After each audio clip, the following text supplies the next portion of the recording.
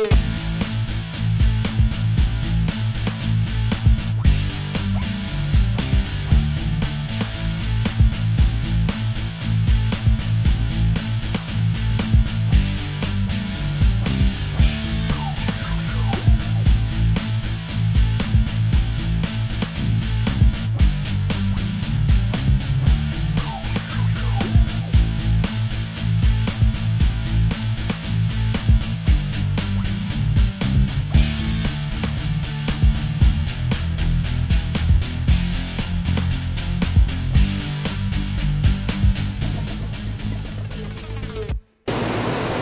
to the Seats. I'm the Mad Conservative Crime Fighter. Joining me this week as part of the uh, 10 most- most influential people in Central Illinois Wrestling. Original recipe, Matt Cage. One half of multiple different tag teams, but mainly one quarter of the C4. How are you doing tonight? I am pleasant. At best. Our sponsor on this edition of Nosebleed Seats, November Rain 2011. Well, if I knew we were going to be doing sponsors, I would have brought an IWOW DVD out here. But this was a good show. I was on it. So you can buy that. From At- Midwest. Oh, no. Different show. .com. Different show. Oh, let's make things appear. Website, email, Twitter. LiveJournal, Twitter, Facebook, MySpace. Cross that out. No one uses it anymore. So you've been watching all you episodes. And your stuff are Facebook, Formspring, Words with Friends, Xbox Live, PSN. Those are all not mine. I don't have Xbox Live and PSN. Moving on. and you have Facebook, you got Twitter, I do. But follow me on Twitter at Proud Caucasian. and on YouTube you have IWA unauthorized IWA one. Yes, or my own personal account at The Cage Effect. Looking back on the first three years of your wrestling career, um, started down in Atlanta, Georgia. Came up to Central Illinois. Did. I was practically the first one to discover you in a small town, Springfield, Illinois. Right after you wrestled at a uh, GAW show. GAW back in 2008. It was forever ago. And then after that, you're all over the place. Uh, I am like gonorrhea. I spread with the quickness.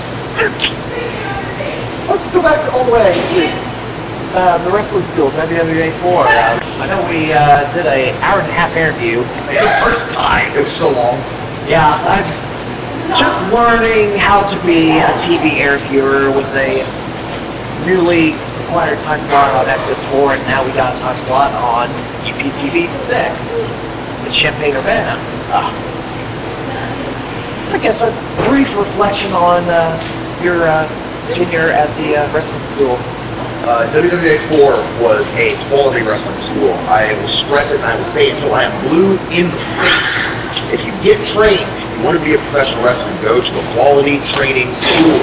Do not settle for Joe Schmo, Joe Blow, you know, random guy, because chances are you're not learning from someone who has learned from someone good.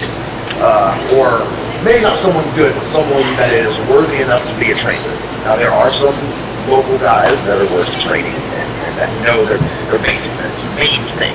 There's some people that don't. But I feel, this might be biased because I trained there, but WWA 4 is the best school in the country. Not only do I say that because I trained there, but look at some of the people that they've turned out. I mean, they, right now on the wrestling scene, got never mind myself. You have Jonathan Gresham, who has wrestled in Japan, Europe. He spent six six to eight out of the last 12 months in Europe. Uh, Nation just broke out big time overnight sensation, not my theme song. Uh, broke out just like that. Uh, Navy Blue signed with WWE last year. He's no longer with WWE, but he was there. Uh, Developmental? Yes, he was developmental. Uh, he was released, but got signed. That's all that matters. Um, see, I mean, for that matter, Heath Slater. Say what you will about him, but he has made it to the dance. So, uh, WWA 4, Mr. Hughes, uh, Elix Skipper, who's not training there anymore. He is pretty much retired from the wrestling business. But Mr. Hughes still training. You can find more information at wwa4.com. Thank you. And As for my time there, I'm sorry. My time at the training school was quality. Uh, I learned uh, a smorgasbord of valuable knowledge, um, and pretty much all of that knowledge that I learned back then, uh, I still use today. And uh, I feel that Hughes' training and input was a great necessity, obviously, and have your trainer's stamp approval is something that means a lot to you. And I got his stamp of approval. It might not come overnight, no. but it did happen eventually. So that's all that matters. Now, uh, you're originally from Las Vegas, Nevada, Yes. and I think sooner or later, Don Kim Morales probably contacted you for a booking when he opens Newbury out in Vegas. But He does uh, do that. I, I will go work with him because uh, far be it for me to turn down a booking in a state, city, area, territory, anything that is more warm than the Midwest because it is, I don't know, uh, right now In all the 30s, Olney, Illinois, snow it is 31 degrees and I would much rather be in Vegas right now uh, where it's 70 degrees. I know that there's a promotion in Vegas called Future Stars of Wrestling. I went there. Uh, I did not wrestle for them, but I was going to wrestle for them, and they have a pretty good deal. So if uh, Mr. Morales starts a promotion in Vegas, he's going to have a tough task on his hands because they uh, of got that sitting on the rock. really, Yeah. uh, did you ever wrestle in Vegas in front of your hometown fans? I never did wrestle in Vegas, unfortunately. Uh, when I moved from Vegas to begin training uh, in 06, beginning of 07, uh, I there was no wrestling uh, promotion, school, anything. There was one when I was growing up. It closed down. It was Scott Casey, who trained Booker T, and uh, Nick Bockwinkel, and uh, Harley Race would go out there and do seminars and what have you. It closed down. There was a guy named Buffalo Jim who was a scam artist who has subsequently been murdered. Uh, and Literally? years, yes, he is Oh, wow. He is dead. They found him in a hotel, dead. Oh my! So that was that wasn't happening, and uh, so I moved to Atlanta before, and then subsequently I find out that there is now a training school in Vegas. I was extremely upset, but at the same time not because I would not have changed my experiences. Uh, long story short, um, that was around the time when the Benoit thing happened, and they were trying to regulate wrestling in Georgia, and not that I feel that it's a bad idea or a good idea, but some of the rules that they came up with were really stupid and Oh yeah, ludicrous. definitely. Uh, basically, one of them, just to give you a hint, was you cannot wear long pants in the ring, long tights. You cannot wear baby oil. oh boy, this was the best- this out for the first time here. This was the best one. Uh, you're choking your opponent on the ropes in wrestling. Currently, it is a five count. Otherwise, you get disqualified. They wanted to change it to a ten count. Now, as my trainer, we went to, we went to court. We all went to court. A bunch of wrestlers. My trainer, Mr. Hughes, was like, "Let me tell you something, Judge. Uh, you're choking a man for five seconds, you get disqualified. I could choke a man for ten seconds and kill him." So, uh, anyway, so basically between that, uh, myself and a few other wrestlers had fallen out with the owner, not the trainer, not Mr. Hughes, but the owner of the WWA 4 school. Uh, and then a few other wrestlers were looking to move. The Hooligans being two of them, they were originally from Illinois. Uh, so they were like, we're from Illinois, we're moving up there. Uh, we had, I was aware of various places up here, either the Mid-South of mine. Uh, and uh, myself and a few other wrestlers moved to Springfield. Uh, wrestlers they no longer wrestle. Um, but anyway, the Hooligans moved back uh, near Springfield where, where they live. East St. Louis, as they Uh, build themselves from. Yes, not East St. Louis, but right, right north of it, pretty much. And uh, rest, as they say, is history. So that is how I chose to move up here. Basically, the way I see it is this: uh, when I moved to Springfield, uh, or for that matter, when I moved to the state, all I wanted to do was get booked. Um, I didn't care where, I didn't care about who. All I wanted to do was get booked. I moved in Spring. I moved to Springfield. Who runs in Springfield? Justin McIntyre runs in Springfield. First place I found out about. I did not get booked for New Midwest Wrestling until 2010. Uh, I moved to Springfield in 2000. Was at the end of 2007. So, Yep. um, and uh, I contacted all the local promotions. I contacted uh, uh, NGW. Uh, I contacted New Midwest. I actually went to a New Midwest show. You were there. You were so pissed when Oliver Kane and, and Jason White broke those nosebleed seats awards over their knees. You were so angry. I didn't understand why, but I was there in the crowd watching, and uh, It was unexpected. Let's put it that way. oh, you were so angry. Um, and then the, oh, the first person that said yes, we will use you, actually was not GAW. Was a place in Chicago called UWC, not UWC Paris. Uh, and I was like, okay. We went up there. Promotion was, eh, but it was work. I went up there, worked with my roommate, had fun. Next week, they beat for GAW, wrestled Jackson Prime. I didn't care about wrestling for championships or anything of the sort. All I wanted to do was wrestle. So I went out there and did. People who were GAW regulars were upset, dumpster dug, and they're like, oh, We're he's, talking about- he's a new guy. He doesn't deserve a title shot. It's like, oh, get over yourself, man. You know what I mean? It's it's wrestling. It is it is not about one person. It is about the show and the fans. Now, uh, wrestlers want to get experience. I was new to the area. All I wanted to do was wrestle. That's all I wanted to do. That's what I did. Talk- he's talking about, for the viewers at home, Danger Doug Craze, who is now retired. dumpster. Let me really quick tangent. To retire from something, I feel that you have had, you have to have made a living off of it. Mm-hmm. So I don't feel that anyone who has not made a living off of it has retired. More so that they have hung them up or quit. That's he not has shot. not wrestled for a couple of years, so he's not wrestling. As, he has not tried to wrestle again, as far as I know. And I believe that he shifted to video work. Good for good for dumpster dog. Let me state for the record that evolution is a mystery. Evolution. Motorhead. Okay. See what I did there? All right. Anywho, uh, from 2008 until now, let's see. When I moved to Illinois, when I started wrestling for that matter, I was just a black guy in tights. Uh, thank, thank the maker that there are no pictures or videos that exist of me before you saw me, because I had the most god awful pair of powder blue airbrushed tights that I bought off of former NWA uh, perennial jobber to the stars, I guess, Rocky King. Yeah. And oh man, they were wretched. And then I got a pair of custom gear. But uh, I was just a black guy in tights. I didn't have a character. I was just out there trying to wrestle and gain experience. Uh, I feel that I did so, um, and I started to make a name for myself. And it wasn't until the beginning of two, so the end of 2008 when a friend of mine, Marcus Crane, uh, and I were having a discussion after a match that I had at MECW in Wood River, and I came to the with a white baseball hat, and I, uh, I was told that I looked like a crazy golfer. So uh, a few weeks later, uh, at a promotion that no longer runs, uh, Scott County Wrestling or Pro Wrestling Next, um, they were like, uh, we're looking for people with bodies or characters. Now at the time I didn't have a body, uh, or I, it wasn't a good one anyway, and so I decided to do a golfer gimmick as it was known.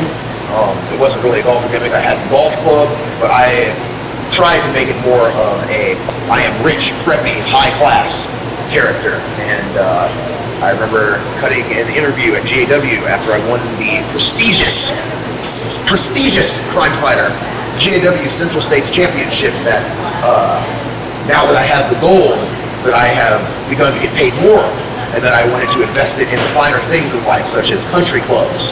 And that, that interview never made air, never made YouTube, so that promo completely did not matter in the grand scheme of things. And as such, everyone just thought that I was a golfer. Whatever. It set me apart from a lot of people who just wanted to be known as wrestlers, and that's fine. But I wanted, I wanted to stand out, and at the time, you can go back and think about it, we had a character. Not many people. Now, now that was influenced by what Chavo Guerrero did for a little while. It was not. White. It was not at all. And I remember so many shows that I was on that you were in the crowd and you were so intent on getting that Kerwin White chant. So much, in fact, that years later I yelled at you from the ring that your chant was not getting over. You chanted. Kerwin White so many times at me and it never got over. Uh, the Kerwin White thing actually had nothing to do with my character at all. Uh, as a matter of fact, when I did it, because it was just a spur of the moment conversation, you look like a crazy golfer. Uh, it's like, I'll just be preppy. And, you know, polo shirts is what I think of when I think of preppy. And more so, if anything, who I was trying to rip off with my appearance was not Kerwin White, but in fact, the Mean Street Posse. Really? Yes. Uh, Pete Gas. Pete Gas, Rodney Abs, and uh, I'm sorry, Pete Gas, Joey Abs, and Rodney. They had those polo shirts and the sweater vests and the khaki pants, and I was a huge mark for them when I was a kid. They were wretched in the ring. You understand me? Yeah, they Truly- lost to jobbers. Truly abysmal they were, but I was like, I'm going to rip off their appearance, not their wrestling skill, but their appearance, and that was what I tried to do. Granted, I, I had the golf club and what have you, and I my thing was I wanted I was a heel. I wanted uh, a weapon to use, and I used the golf club several times, broke it over many backs. Uh, once I actually broke it in half at the IWA Mid South Tryout show. I hit some guy over the back so hard, he told me to, to hit him really hard, and I did. Because he wanted to show that he could take weapons. And I hit him, and it launched. And it went over with the uh, Sure crowd that voted. Actually, Well, actually, yeah, I will go crowd wasn't and- voting. And I will go ahead and say this. That match was what it was, what have you. But the only reason that we all in that match, everyone pulled up their end of the bargain, but to me, the only reason why the credit should actually all go to Bucky Collins and the Dixieland Destroyer. Because Dixie was the big guy, and all the other big guys on that show were trying to chain wrestle. Well, to hell with that. If you're 500 pounds, do not chain wrestle. Go out there and slaughter people. And that's what he did. And he killed Bucky. He made Bucky pay for his sins. And then Bucky did a 450 splash off of the apron. It was more of a 450 knee drop. But he did that. And everyone was like, oh man, these guys, they're picking it up. And then we did Finisher Frenzy. And But the main reason was them. I've told this to Bucky before. That's my opinion, though. Who am I to doubt El Dandy or Bucky Collins? Uh, let's see. Atlanta Angels. Myself, Devin Mason Cutter, uh, Chris Steele, Ace Velour, Nick Meir, Felix Skipper, and Joel the Bouncer. All right. Joel the Bouncer, uh, in summer of 2008, decided that he was done with wrestling and moved back to Florida with his uh, wife and daughter. I have not heard from him since. Uh, he was my bouncer. He was my bouncer. Did you know that? Only like two or three times. Anyway, he moved back to Florida. I have not heard from him since. Uh, he stole things from myself and my other roommate, Nick Meir, who uh, several weeks after Joel decided to, to leave, decided he wanted to quit wrestling also and pursue mixed martial arts, which uh, I have not talked to him since 2008. Uh, there was a semi falling out, real childish and petty, but I was really upset uh, about him quitting wrestling, especially because uh, we um, we got a lease on an apartment in Springfield. And I remember the day we moved there, I said, you want to get a three month lease, six month lease, nine month, or 12 month? I think we should get six. He said, oh, we'll get 12, it'll be no big deal. I was like, are you sure? We can get six and renew it. Oh, nothing happened, we'll get 12. He quit wrestling in six months. So we had a year lease, and I was like, ah, things happen. Anyway, he quit wrestling. A week before he quit wrestling, Felix Skipper decided that he wanted to move to Michigan, back to Michigan, where he is originally from. Uh, now, I have not talked to him recently. I've talked to him within the last year. Uh, he was wrestling, not frequently. Uh, I always felt that he had a lot of potential, and had he wrestled a regular uh, schedule, um, that he would have been pretty good. If he would have gotten in like shape, like he, he had talent, I thought he could bump. Oh man, he could bump like a madman. But I don't know if he. I love God to death. Uh, if he was here, I'd you know still be friends with my still consider a friend. I just hadn't talked to him for a while, but heart wasn't in. his heart wasn't as into it as other people. So Okay. he's gone. Uh, Chris Steele never actually wrestled in Central Illinois. Uh, I believe we've discussed this before.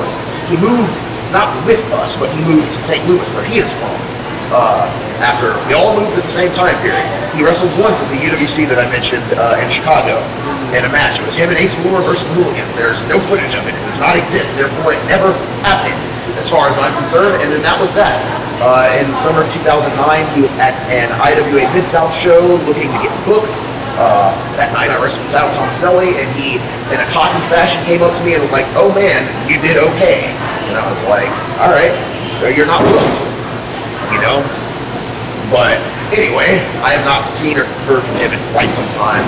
Uh, he had a lot of like.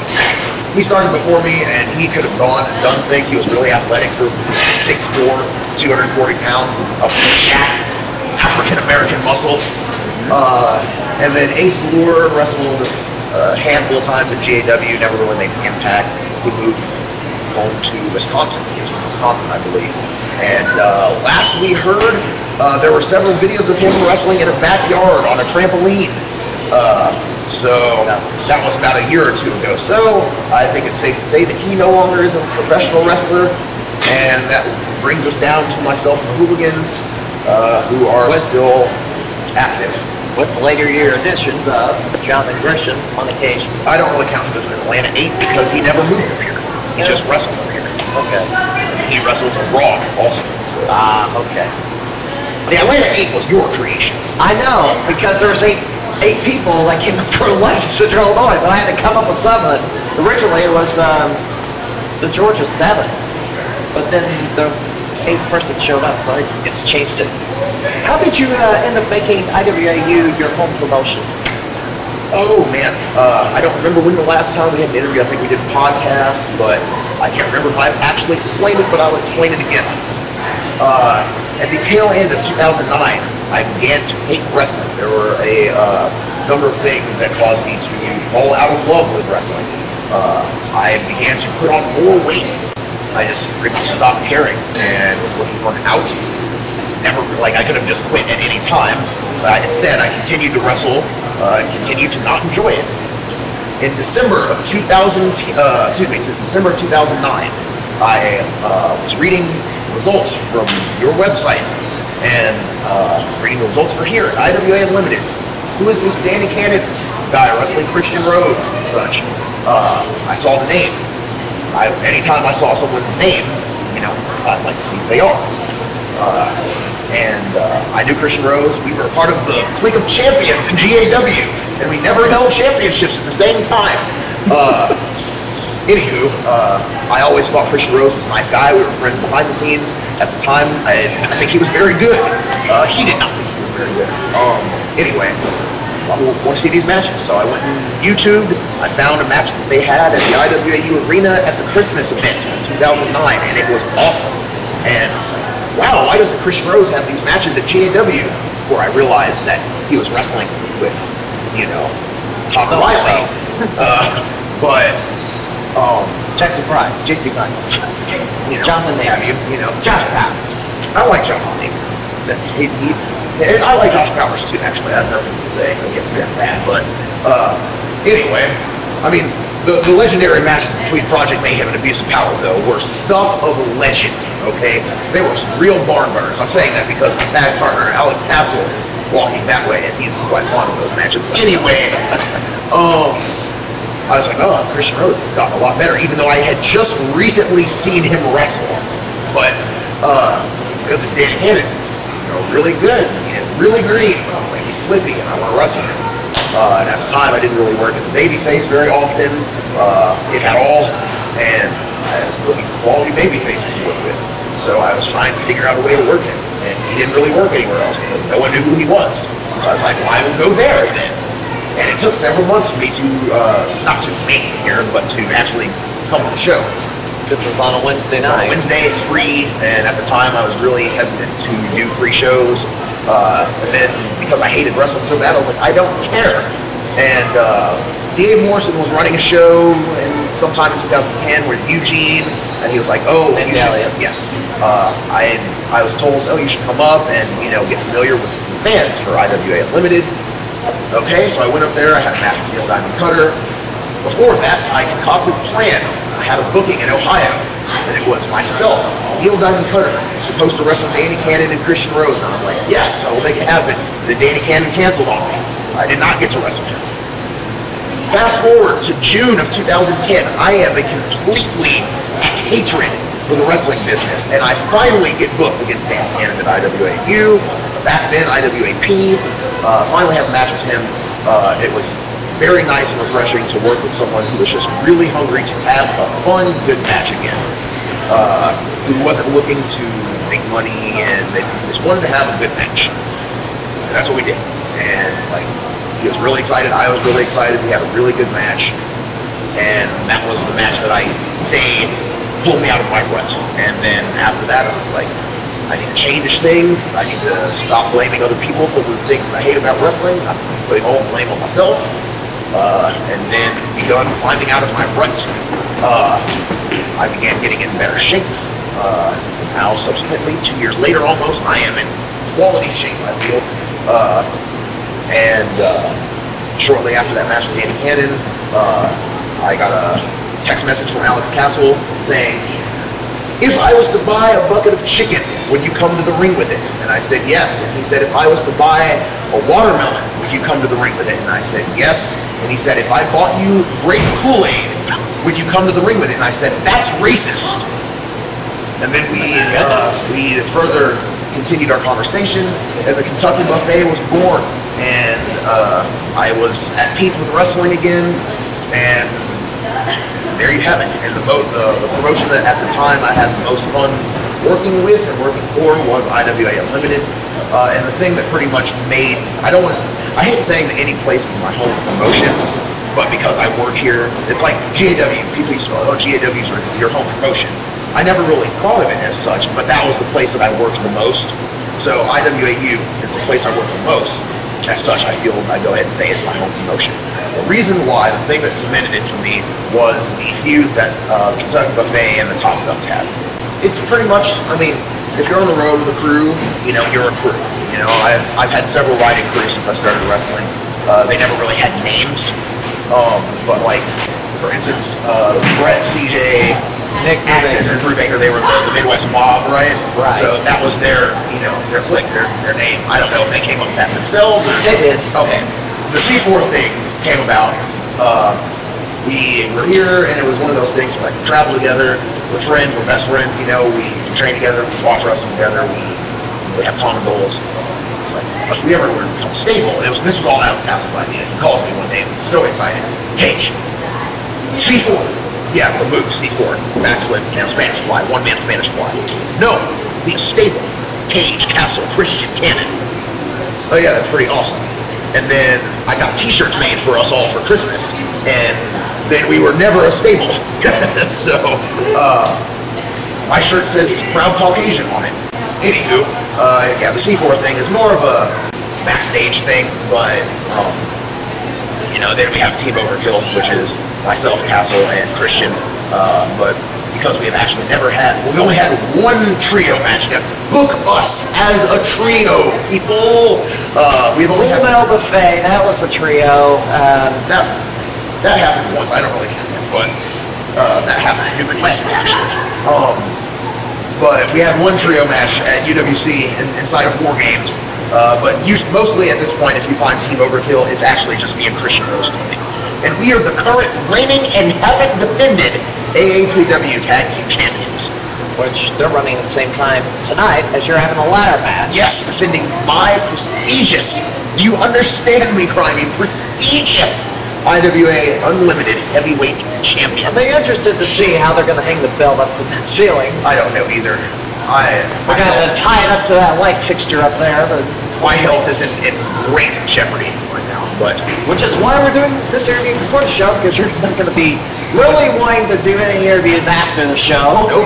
If you were trying, if you were going to try an interview after this ladder match at Crime Fighter, I would tell you in no particular terms, but to f off, so I could go apply Tiger Balm in icy hot. Although you did conduct an interview after a four-way ladder match at GAW once Ugh. with Cameron Jacobs of all That people. match, I choose to uh, believe that it did not happen.